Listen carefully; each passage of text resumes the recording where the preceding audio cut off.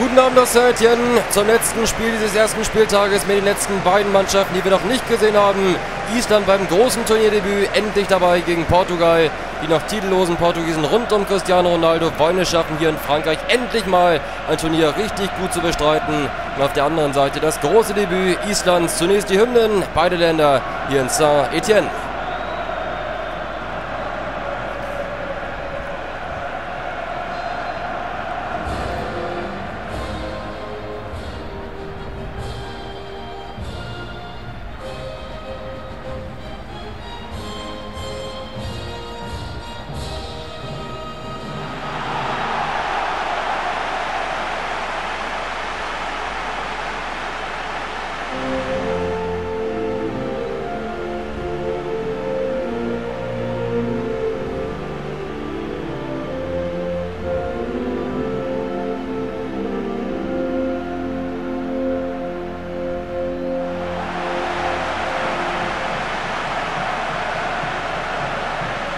Vor zwei Jahren in Brasilien haben sie es fast geschafft, sind in den Playoff-Spielen gescheitert, die Isländer. Jetzt also das erste Turnierspiel. Und wir schauen auf die Startformation Portugals mit Patricio im Tor, Cedric Carvalho, Alves, Eliseo in der Verteidigung. Dann das Dreier-Mittelfeld mit Danilo, Thiago, Moutinho, vorne Nani, Ronaldo und Quaresma. Das also die für Portugal vor zwei Jahren das Gruppenhaus in Brasilien. Das soll dieses Mal deutlich besser gelingen. Island mit Haldorsson im Tor, dann die Viererverteidigung Davor der Kapitän Gunnarsson, rechts Bjarnason, links Gudmusson, dann der Schlüsselspieler Sigurdsson, vorne Finnburgerson aus Augsburg, neben Sigthorsson.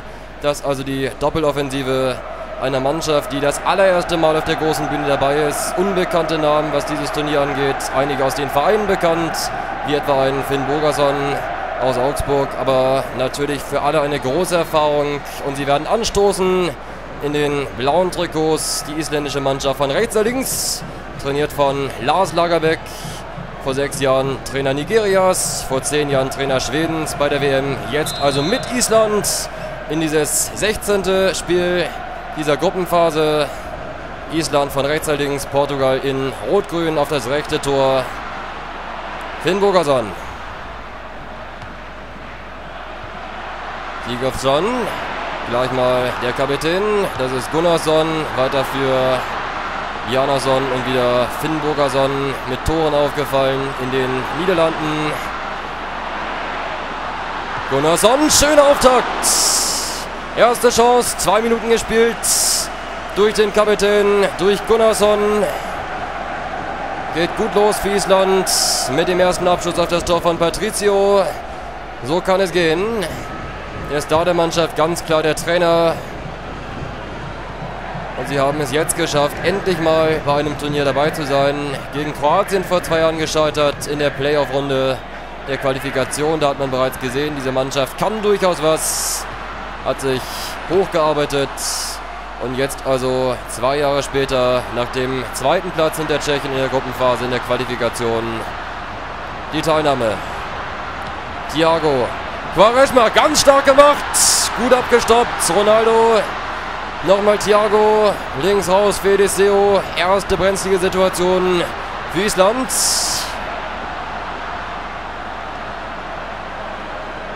Moutinho. Quaresma. Und dann noch abgeblockt von Saverson. Erster Abschluss durch Quaresma auf der rechten Seite mit Ronaldo und Nani. Einer von drei Offensiven.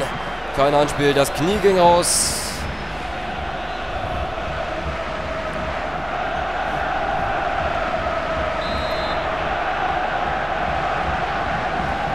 Eckball getreten von Nani.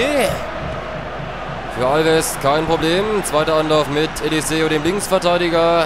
Wieder Quaresma, Alves, Ronaldo. Und die Chance abgefälscht. Dachte ich von Quaresma. War es aber nicht. Sondern ein ganz starker Stoß senkte sich gefährlich auf das Tor von Haldorsson. Allerdings nicht gut genug für das erste Tor Portugals. Trotzdem nach der ersten Chance von Gunnarsson zu erkennen, dass Portugal natürlich individuell klar besser ist. Island kann überraschen und dann in den nächsten Spielen vielleicht die Chance wahrnehmen gegen Österreich oder gegen Ungarn. Wir haben die beiden Mannschaften heute am frühen Abend gesehen in Bordeaux beim 1:1, das späte Ausgleichstor von Okotje. Das ist also das zweite Spiel dieser Gruppe F. Sigthorsson. Gut gedacht für Bjarnason, kommt allerdings nicht dran. Der Mann auf der rechten Seite Islands. Das also nochmal Danilo. Und diese wirklich schöne Chance, da stand Halderson etwas vorm Tor und dann versucht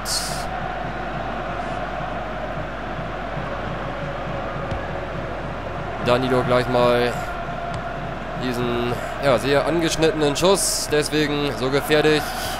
Weiterhin kein Tor, aber ein schneller Auftakt hier in Saint-Étienne, dem letzten Ort, wo noch nicht gespielt wurde. Jetzt ist überall das Turnier losgegangen. Portugal mit Cedric.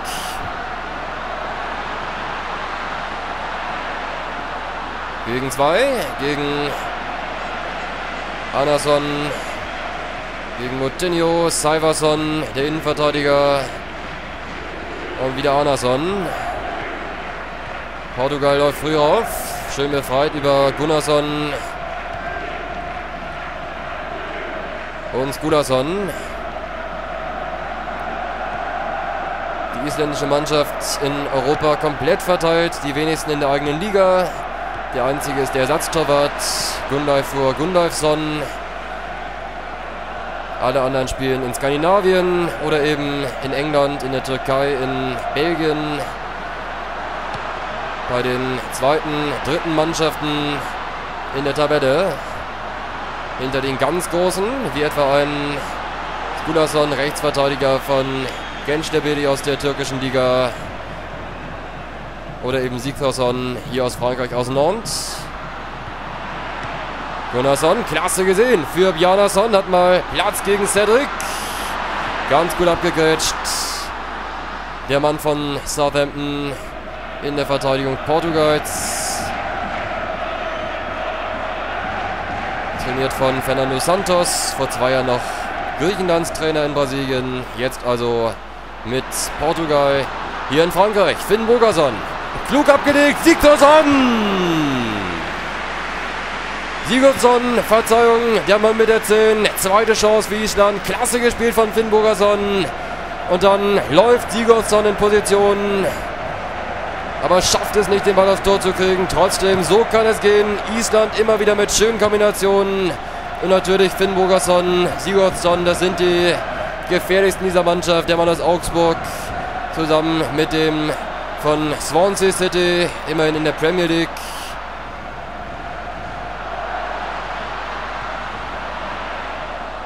Danilo.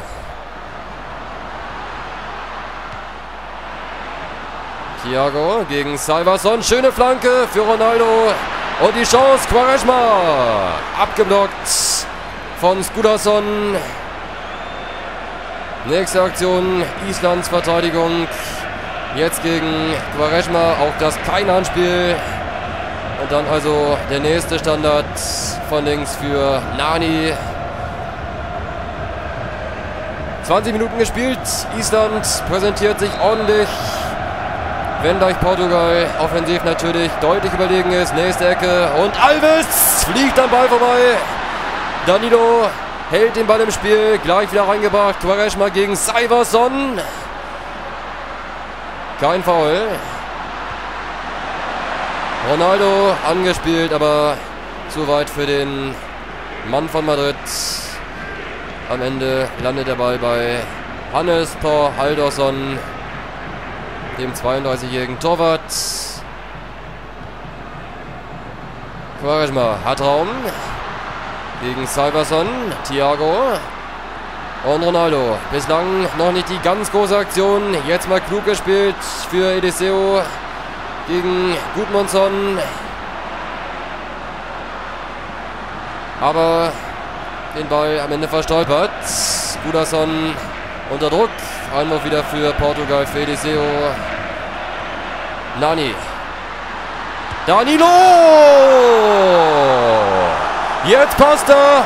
1-0 Portugal durch Danilo. Er macht das Tor. Nicht Ronaldo, nicht Nani, nicht Quaresma. Danilo ist der Mann, der das erste Turniertor macht. für Portugal. Schön gemacht, die Vorarbeit von Nani. Und dann ganz frei gegen Salverson und gegen die isländische Mannschaft. Zu spät die Gegenwehr. Haldorsson machtlos. Und da macht Danilo das erste Tor dieses Turniers für die Mannschaft von Fernando Santos. Ganz wichtiger Treffer gegen Island. Haldorsson bedient. Danilo Pereira, der Mann aus Porto, mit seinem ersten Länderspieltor überhaupt. Traf noch nie für Portugal, aber jetzt in Frankreich. Bester Zeitpunkt für den 24 Jahre alten Mann vom FC Porto. Island wollte lang genug die Null halten, lange möglich. Jetzt allerdings nach einer knappen halben Stunde dann doch das Gegentor für die Mannschaft von Lars Lagerbeck. Gudmundsson gegen Eliseo. Rausgeschlagen. Und der Ball landet bei Ronaldo.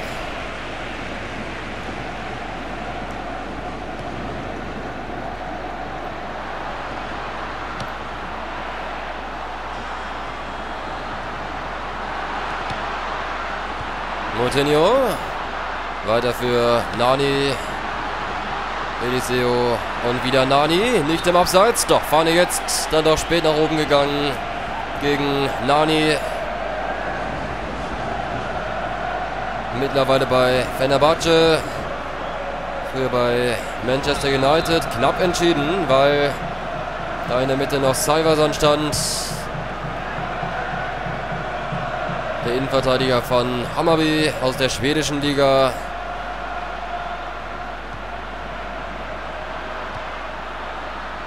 Gudmundsson. Weiter für Bjarnason. Wieder Gudmundsson und Finn Bogerson kann sich nicht ganz durchsetzen gegen die portugiesische Verteidigung.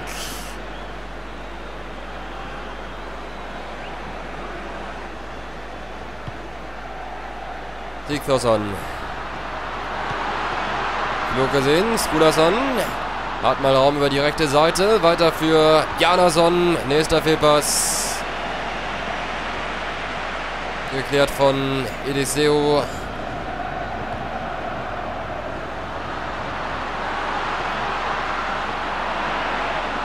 Finn Bogerson. Schöne Flanke, zu weit. Gedacht für Sigthorsson. Und das nochmal das 1 zu 0 durch Danilo gegen Sigurdsson durchgesetzt, gegen Salverson, die allesamt zuschauen. Die Viererkette Island in diesem 4-4-2 mit Raute, ein ungewöhnliches System in der Ausführung bei den Isländern mit dem offensiven Sigurdsson und dem defensiven Gunnarsson. Das sind die Spielgestalter zusammen eben vorne mit den Stürmern mit Finn Bogerson und Sigthorsson. Dazu die Flügelspieler Bjarnason und Gudmundsson.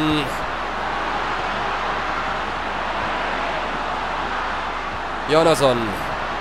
Sigthorsson! Austor von Patricio, aber kein Problem. Auf den Mann geschossen. Nach langer Zeit mal wieder eine Chance für Island durch Sigthorsson. Kennt dieses Stadion aus der Liga mit Nantes. Thiago. Ronaldo. Danilo abgegrätscht. Trotzdem am Ball. Ronaldo weiter für Nani. Und Ronaldo, nächste Chance. Klasse Parade von Haldorsson. War, meine ich, dran am Ball von Ronaldo. Riesenchance. Vereitelt von Haldorsson. So ist es. Auch wenn das nicht ganz sicher aussieht. Er hat den Ball abgewehrt. Eckball für Nani. Und damit das 2 zu 0 verhindert. Erster Abschluss von Ronaldo. Bisschen selten zu sehen.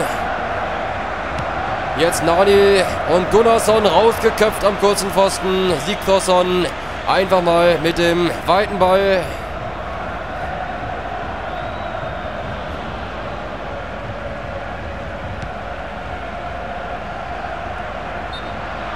Abseits gegen Quaresma. Beim langen Ball von Patricio.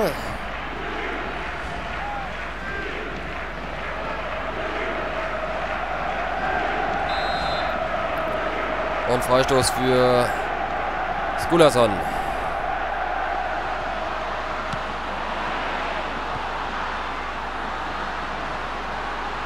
Janason.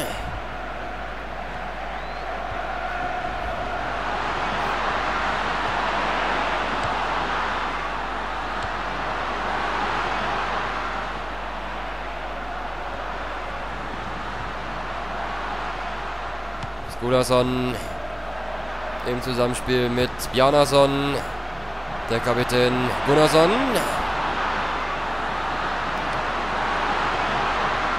Anderson mal mitgelaufen, der Innenverteidiger. Schöne Flanke. Sigthorsson. Das ist Gudmundsson. Schöner Schuss. Schöne Chance durch Gudmundsson. Den Mann auf der linken Seite. Traut sich mal. Und da fehlt nicht viel. Island hatte große Chancen. Haben sie nicht genutzt. Aber trotzdem eine erste gute Halbzeit. Natürlich waren sie nervös. Angespannt vor diesem ersten Turnierspiel. Das dürfte sich jetzt gelegt haben. Sie haben alles gezeigt, was sie konnten im ersten Durchgang. Sie hatten schöne Gelegenheiten und haben alle Chancen für den zweiten Durchgang hier in Saint-Étienne. Dieses Spiel hat Portugal noch längst nicht entschieden, weil sie Großchancen nicht verwandelt haben.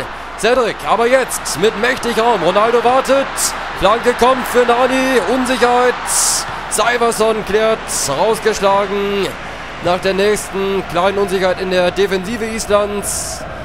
Immer wieder Probleme bei Cyberson, Skudason und seinen Mitspielern. Quaresma kommt noch an diesen Ball, aber kann ihn nicht ganz kontrollieren.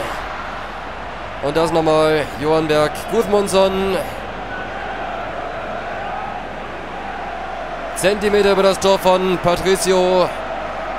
Zusammen mit der Chance zu Beginn von Gunnarsson. Die beste für Island. Ein Tor im zweiten Durchgang. Und man hätte tatsächlich Portugal einen Punkt abgetrotzt. Und für die nächsten Spiele alle Möglichkeiten. Finn Bogerson. Skudason abgegrätscht und jetzt ist Pause in Zeutchen. Portugal führt durch das erste Länderspieltor von Danilo Pereira. Das allerdings die einzige Gelegenheit, die wirklich gefährlich war. Dazu noch die Chance von Ronaldo. Insgesamt Portugal noch längst nicht auf dem Niveau, wie man es erwarten konnte. Auf der anderen Seite schöne Gelegenheiten für Island durch Gunnarsson, durch Gudmundsson. Sie haben alle Möglichkeiten und wir sind dann gleich zurück mit dem zweiten Durchgang in Saint Portugal gegen Island. Bis gleich.